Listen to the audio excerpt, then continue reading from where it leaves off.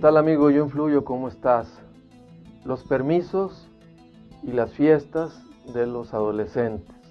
Sin duda un tema que en muchos papás provoca un verdadero dolor de cabeza.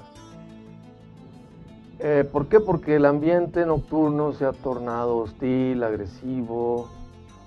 Es muy fácil, por ejemplo, que en una fiesta, en un antro, se ofrezca alcohol en exceso, se ofrezcan drogas, haya pleitos y salga la gente gravemente lastimada.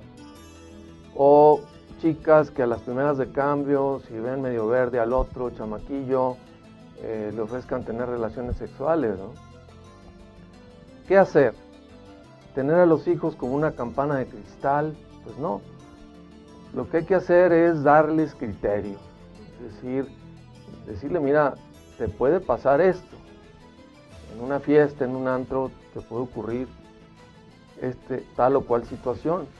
Lo importante es cómo vas a reaccionar, ¿no?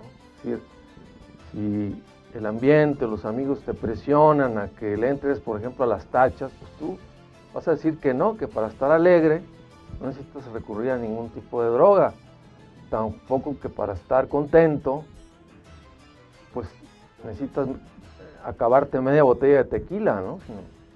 A lo mejor con un par de copas estás feliz de la vida toda la noche y así, ¿no?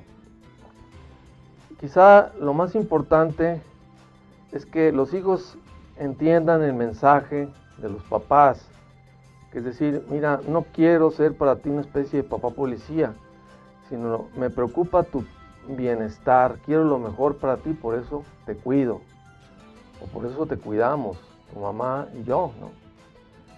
Eh, muchas veces eh, no se sabe cómo actuar y en ese sentido es importante decirles a los hijos, por ejemplo, oye, si vas a una fiesta, llámame a qué o dime a qué horas vas a regresar y cumple con tu palabra. Si son chicas, pues a lo mejor hay que ir por ellas o que duerman en casa de amigas de absoluta confianza. Otra cosa es, a veces unos, unos jovencitos dicen, yo quiero ir a todas las fiestas, jueves, viernes, sábado y domingo. Decir, oye, espérate, también en este sentido hay que ser mesurados. Elige una o dos fiestas, pero no te aceleres, ¿no?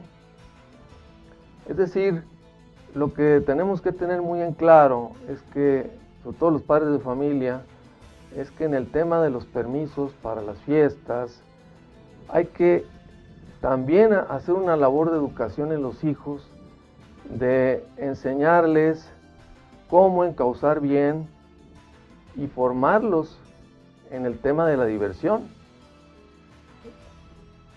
Es decir, el estudio, la familia, el deporte, pero la diversión también tiene su lugar.